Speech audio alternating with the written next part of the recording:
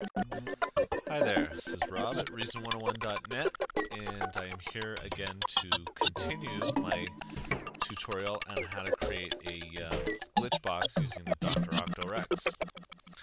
Uh, the last time we, we um, went through this, uh, what I showed you is how to create one loop and then create some different variations on it, um, send all the different outputs to different effects units, and also to send the LFO to the pitch wheel to change the pitch as uh, as it goes by the LFO. So this time, what I'm what I did, I already set this up just to save some time, but um, I took the same loop and I copied it into four different uh, slots. Uh, what I'll do, and I changed the parameters of each of the each of the uh, loops um, so that they're all a little different. So just to show you how to do that, um, you're going to right click, you're going to select copy loop, you're going to go into a free slot, you're going to right click again and you're going to go paste loop. And then uh, what you're going to do for the pitch you're going to change some of the different parameters so that you got a different pitch here. Okay and what you can also do is um, you need to change your pan. If you want to change everything back to the original like if you want pan to be zero all the way across here hold down your control key and just drag all the way along the loop and everything's going to go back to normal.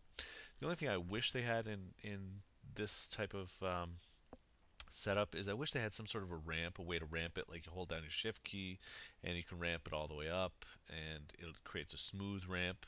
Uh, obviously this is not a smooth ramp, but you can do that in velocity settings in the sequencer, but apparently you just can't do it here. So you're kind of stuck having to play around and fiddle and um, try to get as close as you can. Uh, so unfortunately, that's just the way it is. So hold down control and uh, it'll get you back to the starting point here and then you can play around with your different parameters. Same thing with reverse. Let's just put it all back to, well, we don't want it to be all reversed. Put it back to the original, then select a few to be reversed. Uh, filter frequency, we'll leave that as is. Alt groups, you can change your alt groups if you want. Or you can have no alt groups totally up to you. Uh, then the outputs, very important that you change these outputs because this is going to determine um, where the actual output gets sent um, and which effects is going to be applied to which uh, which effects get applied to which slices in the loop. So once you've made all these changes, um, now you're pretty much all set. You've got that loop in all the different slots. You've got it in uh, five different slots. So let's uh, um, oh, let's do one other thing. Let's change this to 1 16th because one of the rotaries I'm going to use is going to be um, used to change from loop to loop and you want it to change on the 16th note, not on the bar. That's just the, the fast, it'll, it'll switch faster, it'll be a little bit more dynamic. Okay, so let's open up the programmer on the combinator. Um, let's, I've already labeled these uh, knobs here. So the first rotary is going to be a loop switcher. So in your, um, with your Octorex selected, you're going to go into rotary 1, you're going to go down to pattern and select loop slot.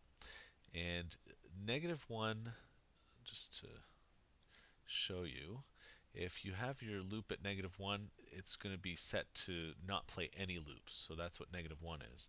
So we don't want that. We want it set to 0 and we want it set to 4. And that way it's going to switch between all your different loops. Okay.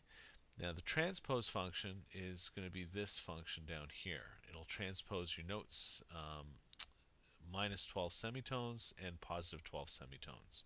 So again, on the Octorex, we're going to select rotary 2, and we're going to select five instances of rotary 2. Okay, one, two, three, four, and one more.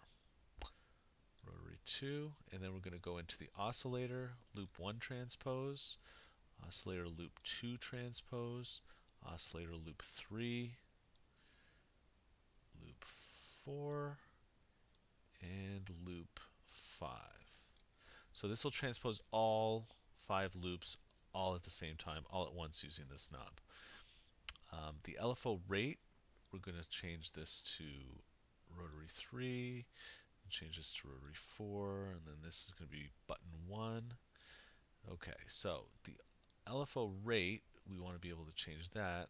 So let's just go into LFO1 rate, And then for rotary 4, we're going to change the LFO 1 amount. And then button 1, we're going to change the oscillator octave from 5 to 6. Okay, and that's going to change the octave up, and it's going to make it sound a more high-pitched glitch. Uh, so, with that in place, let's just check everything's okay. With that in place, now we can play it, and we can have fun switching the loops. Switch on the 16th note. Transpose it, go upward or downward. Change the rate, which affects the pitch.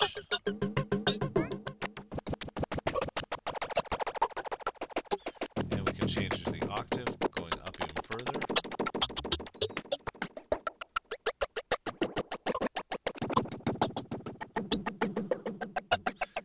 The mod wheel to affect the resonance and the decay and the frequency.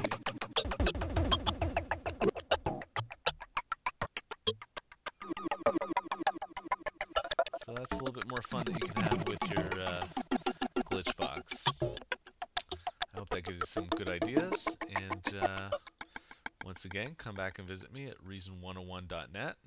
Um, I'm Rob, and I'll be your host for many more tutorials to come. Thanks a lot for listening, and thanks for watching.